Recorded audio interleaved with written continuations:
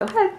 I'm Mike Kitchen. The date is March 20th, 2013, and I'm trying to lose weight just to be more active and stuff. 19 and just, yeah, trying to lose weight. That's all.